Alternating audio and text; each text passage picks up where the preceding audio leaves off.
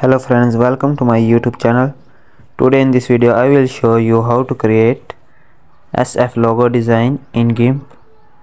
Okay let's start.